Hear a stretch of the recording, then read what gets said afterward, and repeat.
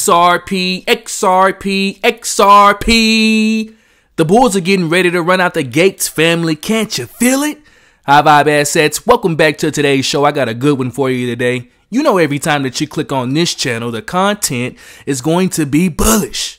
Go ahead and give me a follow on my Twitter page at High Vibe Assets. Without further ado, let's go ahead and kick off today's show. See, this is the interesting part. This is the part to where we've been waiting on. This is the part to where things are going to get sticky. Let me explain what I mean.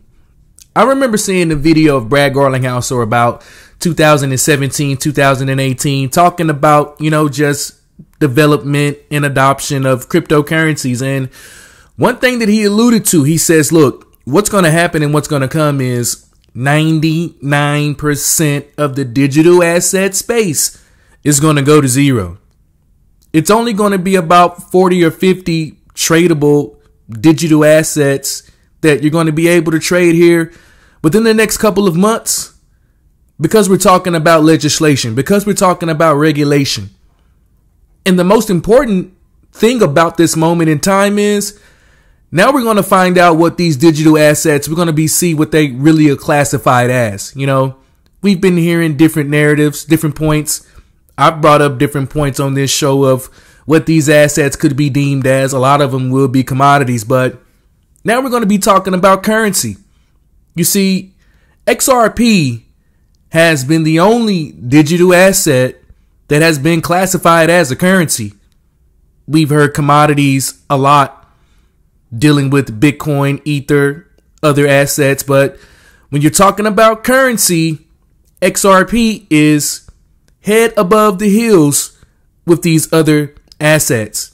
Bank of International Settlements, World Economic Forum, International Monetary Fund, SWIFT, ISO 20022, G7, G30. I can continue to name them. About XRP being a currency.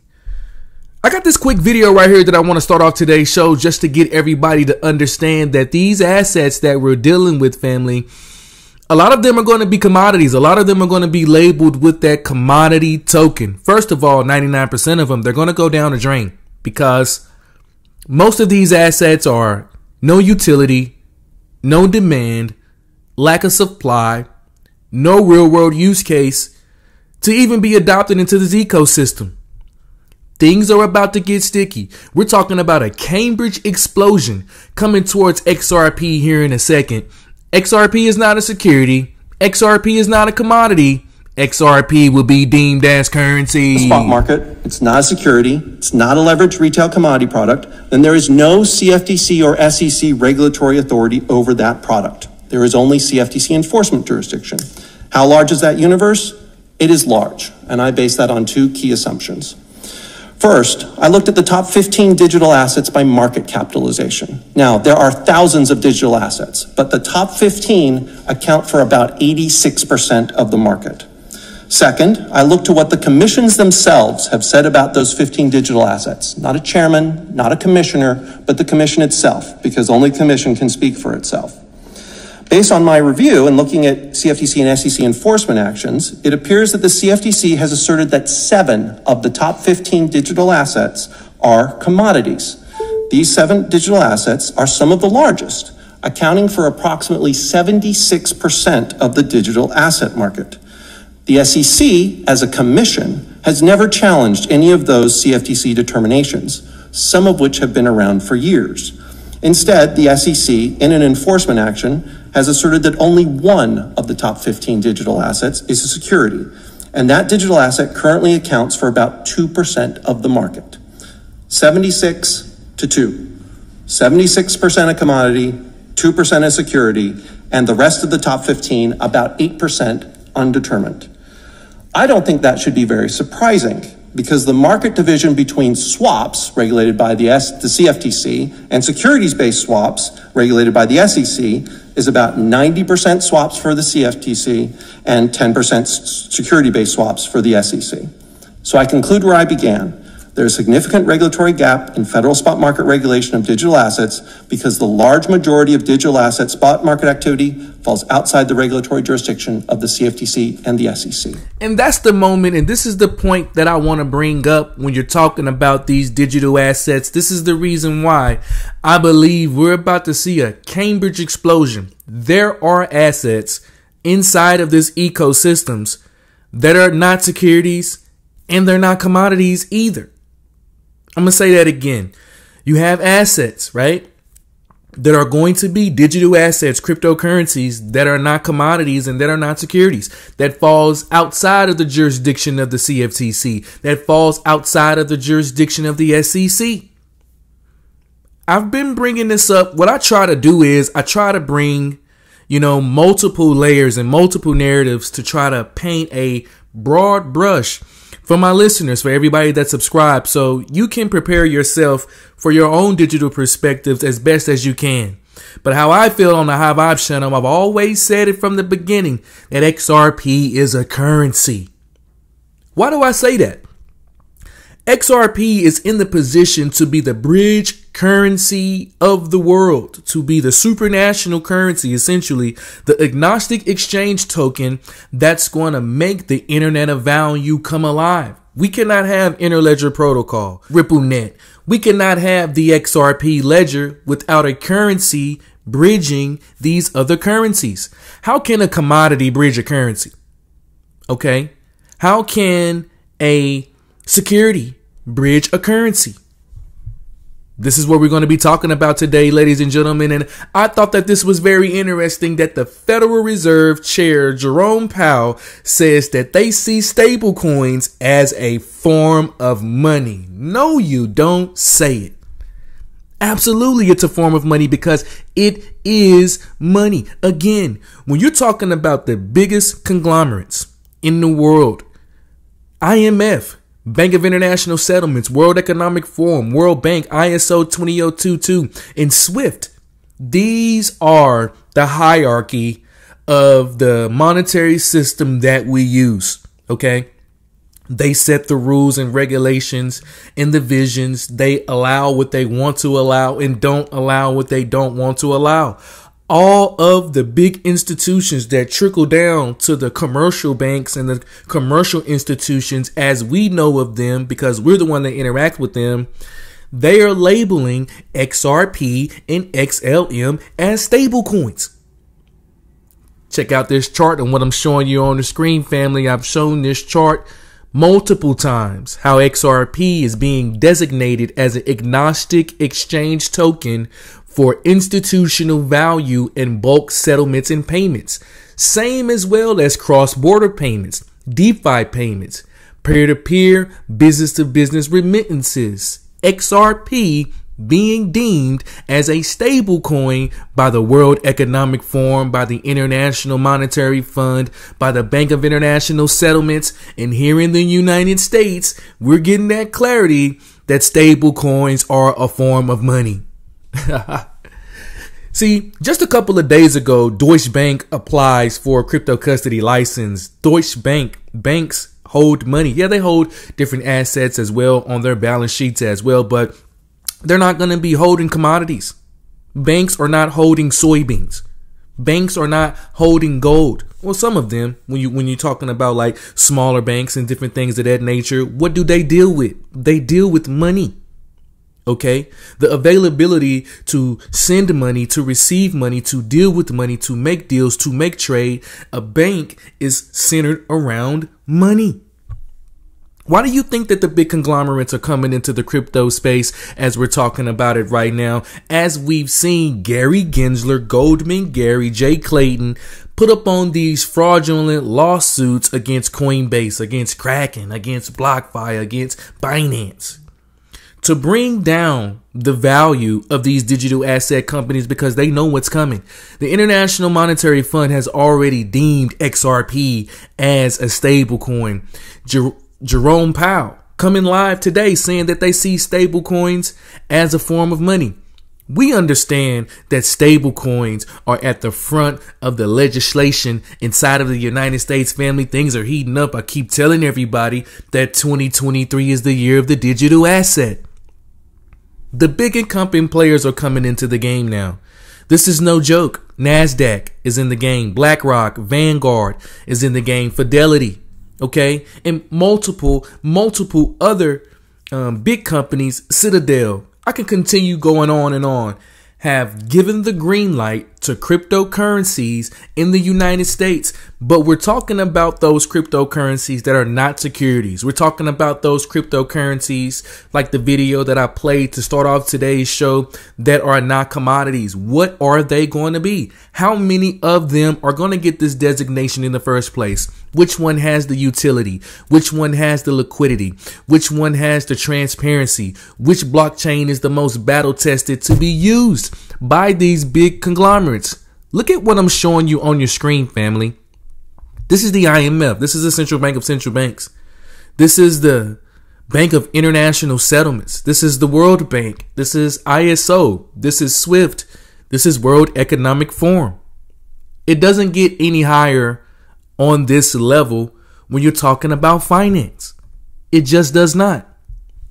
The incumbent players did everything that they can to try to bring down the value of these digital assets so they can come into this space and grab a big chunk of it up. And that's exactly what they're doing. John Dean had told us this over two years ago that the incumbent players, when they decide to come into this space, they're going to bring the market down and they're going to pour in institutional trillions. And what I think what's happening is that cryptocurrencies and Bitcoin is one of the few times in history where the individual kind of front run the, the industry, if you right. will, and the hedge funds. And personally, I think the Gensler's attack on crypto is to allow the hedge funds and the Wall Streeters to come in, crash the market. They come in and then by the way, they, they did that with the stock thing. market. And this is what we're talking about right here about the big institutional players coming into this digital asset space. All of them have announced essentially they're making their moves to come into this space, to come in and bring in their institutional trillions of networks and their assets management that they can deploy in this space. BlackRock has given cryptos the green light. Vanguard, Fidelity, UBS, Morgan Stanley, JP Morgan and Chase, they've all given the green light to cryptocurrency. Goldman Sachs, BNY Mellon. We understand that Ripple has been linked with essentially all of these conglomerates plugging them in to the internet of value, plugging them in into RippleNet, eventually showing them the interledger protocol. Again, the United States, the Federal Reserve, sees stablecoins as a form of money. This is exactly what XRP is. Because if you're going to have a bridge asset to bridge these currencies to be the agnostic exchange for international payments, for domestic payments, for all different type of use cases, that asset cannot be a commodity. It has to be a currency. Going from one currency, going to the bridge currency, settling in another currency in seconds. And you know what this means, right? When XRP does get that currency designation, it's not going to be a reason to sell because it is money. Why would you take an asset and sell an asset for another depreciatory asset that's going down where we're talking about the United States dollars and other fiat currencies that are losing strength at the moment. We understand that the United States dollar is losing its strength. When you take over your USD and you put it over into XRP, you are exchanging one currency to another. You see, people, man, we get these mindsets. We want to cash out, you know. We want to, we want to, we want to take the most valuable asset that has ever been created, essentially, especially in a digital version with the internet of value, and we want to think about exchanging it for a deflationary fiat currency. XRP is a bridge currency all utility digital assets will coexist. This is what's going to happen. Given the birth to the internet of value, XRP is going to operate like a currency. You know, there's been a lot of discussion around stablecoins being used to solve some of the same issues that you've just outlined. Uh, what's your what's your take on the stablecoins versus CBDC debate? Can stablecoins do the same thing? I think from a from a technical functionality point of view, there's not a big difference between stablecoin and CBDC. The, the real issue is is who's who's issuing it and who's backing it. So we do see a world of coexistence. I think CBDC will become ultimately um, the preferred um, uh, digital currency for a lot of people because they feel safe and secure because it's backed by the central bank. Um, but but we see them coexisting, and the same way that we see uh, cryptos coexisting. You know, our Ripple net network, as you may know, um, uses uh, XRP as a bridge currency between currencies as a way to negate the need to pre-fund accounts. We call it on-demand liquidity. So we think all of these different uh, digital currencies have a role to play and will all coexist. This is where we're talking about these assets that are not securities and that are not commodities. You see, a lot of us, we're tied up in the SEC, we're tied up in the CFTC. XRP is not a security. Well, XRP is not a commodity either, as we just hearing it live, that XRP is going to be on these blockchains operating as a currency. Let's get it from another mouth. Let's get it from an old head of Swift. Swift is the biggest money mover in the world when we're talking about cross border payments, remittances, and settlements, financial messaging systems, $29 trillion a day. We understand that.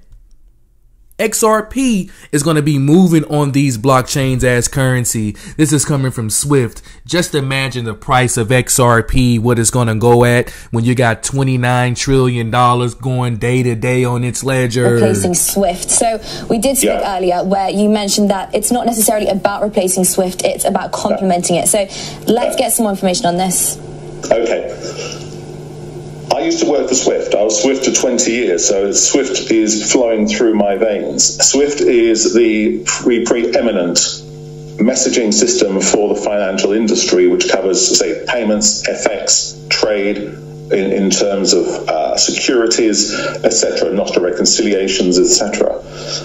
What we're looking with the crypto, though, is uh, where Swift would have a store and forward system for most of its payment transactions, uh, where you need service level agreements that in a certain time I will do something, but payment turns up at a certain time during the day. Here we're looking at the new network styles, which allow instant, real time movement of the funds and visibility of those funds as well. So we would not have a situation where banks need to come back to you and say, have my funds arrived? Uh, it's three days later. Uh, I need to find out or find query messages moving around the network. There's nothing like that. I don't believe Ripple is going to replace Swift. Ripple is one of the complementary networks, which is going to allow those institutions who need real time to make use of that and I think um, we're also seeing that Swift are changing their, their network capability so that real time will be a possibility as, uh, as well. But we may also see Ripple XRP moving across the Swift network as a currency when we're perhaps using something like FX. See, this is what they're saying, family. This is not speculation or something that I'm just making up and shooting it from the hip. The biggest conglomerates, financial conglomerates that control our lives, that controls the way of what we know about money, of what they think about money, they're saying that XRP is moving as a currency. When you think about that, ladies and gentlemen, and you understand that so much of this security hype that we done been into within the last couple of years, so much of this commodity hype and what is XRP and what is not XRP.